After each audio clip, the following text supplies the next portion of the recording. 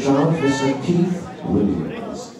Now here we have Jack Irvine of Game Fighting Super Gym versus Andre Dessi of Stealth.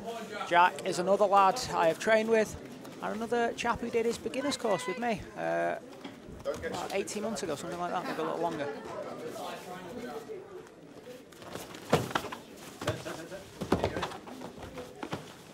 I know Jack likes his front headlocks. Andre looking for the leg entry here. It's dangerous, he might have this. You can turn it to a heel there. Jack looking for a quick toe hold if he can get it. Go ahead, bend down, Dre. Drop your chest on it. Chest down.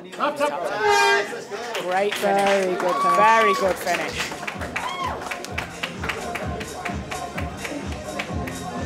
Love the explosive leg lock though. Absolutely, really good. In 36 seconds by a straight ankle lock, Andrea Dessi wins! Happens to the best of us.